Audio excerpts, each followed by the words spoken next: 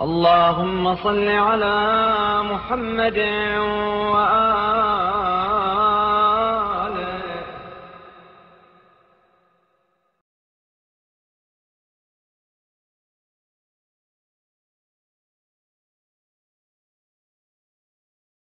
Assalamu alaikum, Bruder Ridwan. Alaikum salam wa rahmatullah. Ähm, ich wollte dich heute fragen, wie du, wie du zu dem Weg gekommen bist von Ali Muhammad. Ob du uns das erzählen könntest. Inshallah. أعوذ بالله من الشيطان الرجيم بسم الله الرحمن الرحيم قل هو الله أحد الله الصمد لم يلد ولم يولد ولم يكن له كفوا أحد Ja, also ich bin Rudwan, äh, bin ein Kurde aus Türkei, ich komme aus Batman, äh, ich bin 21 Jahre alt und als ich Schia wurde, das war als ich 15 war, in 2004, Sommer 2004. Also ja, es hat angefangen mit meinem, einem meiner besten Freunde Ramadan, er ist aus Kosovo und damals 2004, diese, diese Zeit ungefähr, ist er und seine Familie auch Schia geworden. Ist er auch ungefähr Schia geworden und ja, auf jeden Fall hat er mich, eines Tages bin ich zum Basketballtraining gegangen und er war zufällig dabei, wie ich zum Basketballtraining gegangen bin. Und dann hat er mir, hat er mich versucht, ein bisschen vom Islam zu lehren, so, dass der schiitische Weg der richtige Weg ist und ja, und hat er die ganze Zeit versucht, Schiatum ist der richtige Weg, so und so. Ich, äh, ich habe gar nichts verstanden, das ging hier rein und wieder da raus. Hat er mich, also ich habe ihn mitgenommen zum Basketballtraining, saß an der Seite und ja, habe ich Basketball gespielt und wollte ich eine kleine Pause, habe ich Auszeit genommen und äh, habe mich auf die Bank gesetzt, wo mein Freund Ramadan war.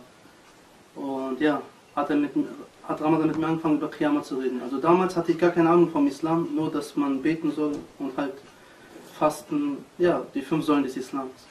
Hat er mir über, mit mir über Qiyamah geredet, dass, man, dass der Mensch dort gefragt wird, dass, seine, dass die Hände, Füße, Augen, Mund, Nase, alles antworten wird. Zum Beispiel der Mund, ich habe dies und das gesagt. Das Ohr, ich habe dies und das gehört. Ich habe dies und das gerochen. Ich bin da und da hingegangen. Ich habe richtig Schiss bekommen. Als ich wieder eingewechselt bin, konnte ich nicht mehr spielen. Weil ich die ganze Zeit an den Gedanken Triama war.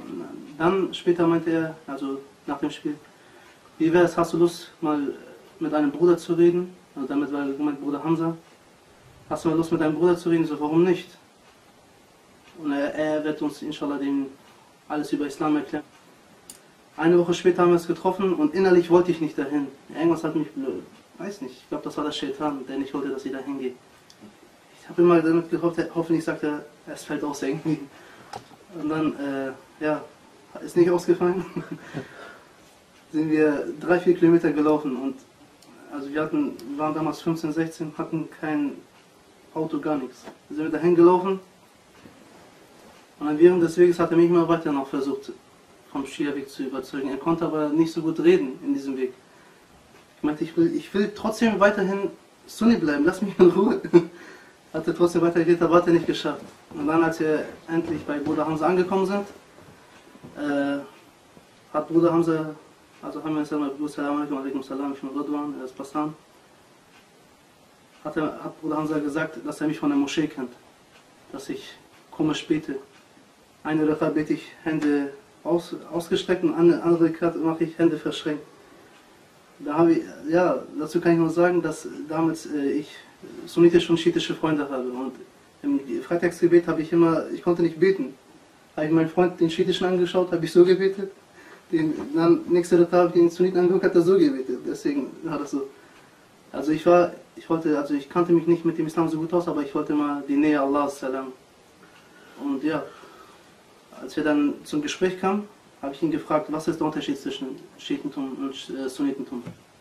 Hat er mir geantwortet und haben wir eine, ein schönes Gespräch gehabt. Und was mich überzeugt hat, dass der schiitische Weg richtig ist, dass die Schiiten nicht an die Verkörperung Allahs glauben, was leider bei der Ahl Sunnah so ist. Zum Beispiel, dass bei Ahl Sunnah, die glauben, dass Allah eine Hand hat, weil im Koran steht, dass er eine Hand hat. Aber wir durch den Hadith Sakhalan, was äh, beim Schiitentum sehr oft verbreitet wird, dass wir uns an den Koran und Ahlul Bayt halten sollen, weil die Ahlul Bayt uns die, die Erklärung des Koran erklärt. Zum Beispiel, wenn da steht, weil im Koran steht, dass Allah eine Hand hat, muss es ja nicht gleich heißen, dass er eine Hand hat. Das ist metaphorisch gemeint. Damit ist gemeint Macht. Und so glauben die Ahlus Sunnah, dass Allah eine Hand hat, dass Allah ein Gesicht hat. Und laut Hadith von ihnen auch, dass Allah den Fuß in die Hölle reinsteckt. Allah hat angeblich einen Fuß und tut in die Hölle rein. Damit will ich gar nichts zu tun haben. Das hat mich sofort abgeschreckt. Oder das Astaghfirullah bei ihnen, laut ihren Büchern, ich will nicht sagen, dass alle so sind. Dass Allah subhanahu wa ta'ala auf den Esel kommt. Astaghfirullah. Allah subhanahu wa ta'ala. Wir können sowas sagen über ihn. Das geht nicht. Und dass Ahlul Bayt uns den Koran erklärt, wie der wahre Islam ist, wie wir an Allah zu glauben haben, wie wir richtig beten müssen. So, sowas gibt es bei Ahlul Sunnah nicht. Also, weil sie nicht an Ahlul Bayt glauben, indem sie sie vermeiden, das gibt es nur bei Ahlul Bayt und das haben nur die Schiiten. Einen ordentlichen Islam, meine, meines Erachtens. Und ja, ein weiterer Grund, äh, warum, was mich äh, dazu bewegt hat, Schia zu werden, war auch, dass ähm, als Rasulullah Muhammad sallallahu alaihi wa sallam gestorben ist, die anderen Gefährten alle wählen gegangen sind, wer der Khalifa war, äh, Khalifa werden sollte, obwohl vorher bekannt war, dass Ali salam, der Imam werden, also der Imam war schon, der Khalif werden soll, der Nachfolger. Ja, aber Imam Ali ist nicht wählen gegangen, er ist dem Propheten begraben gegangen, mit einigen wenigen Gefährten, aber die meisten sind wählen gegangen und das hat mich auch bewegt, also Schiite zu sein. Ja, so bin ich Schia geworden und ja, sieben Jahre sind jetzt fast vergangen und ich kann immer noch sagen, dass Schiedentum der richtige Weg ist, denn ich habe weiterhin geforscht und bin der festen Überzeugung, dass Schiedentum der richtige Weg ist, weil uns der Prophet laut Koran, also weil Allah laut Koran uns befiehlt, Ahlul zu folgen und der Prophet laut sunnitische und schiitische Bücher uns befiehlt, Ahlul zu folgen. Mit Ahlul ist gemeint Prophet Mohammed und seine Familie. Ich, ich persönlich bin durch sunnitische Bücher Schia geworden, nicht durch schiitische. Das ist meine Meinung. Und wie ich mich jetzt fühle, der, der schiitische Islam befriedigt mich sehr, sehr wirklich. In dem Sinne, weil ich krieg, ich lerne einen wahren Allah kennen, nicht Allah mit Fuß und nicht Allah mit Gesicht. Ich lerne, wer der Schöpfer ist, ein Schöpfer, der uns erschaffen hat und nicht der ein Allah kommt und der geht. Das ist Allah subhanahu wa ta'ala das und ja, dass ihr sehr viel von Ahlul Bayt weise äh, Aussprüche lernt, zum Beispiel, wie, wie, wie, wir uns im Leben verhalten sollen. Zum Beispiel heute hatten wir den Tag von Imam Zainal Abedin a.s. und er hat uns was hinterlassen. Er hat uns nicht im Stich gelassen und er hat uns was mitgegeben, wie wir Allah anbieten sollen, wie wir zu ihm Dua machen sollen, damit er uns erhört. Das, es gibt nichts besseres als Ahlul Bayt a.s. Denn sie allein sind der Beweis und das sieht man. Man kann äh, das Licht nicht verdecken. Das geht nicht. Salawat. Allahumma salli ala Muhammad wa